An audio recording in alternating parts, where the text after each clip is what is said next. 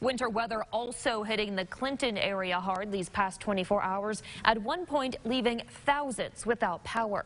Our Samantha Boyd was there for it all and shares what officials want people to know.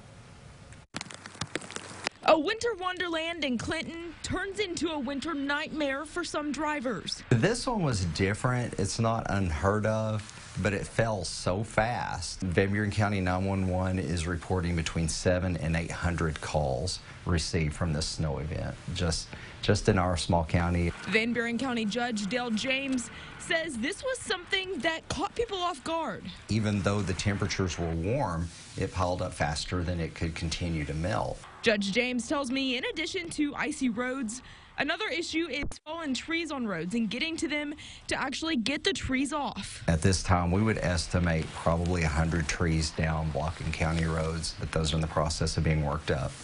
And uh, the, not only have the county road crews been working on those, so have first responders and fire departments, sheriff's offices. Hundreds of cars were stranded across roads in the county last night, and that's certainly still the case today. That creates a little bit of issues at times with snow plows and, and getting to those those impacted areas. Judge James adds that it's important to note that some of these secondary roads could be impassable and roads could freeze back over tonight, so be careful driving for the next few days.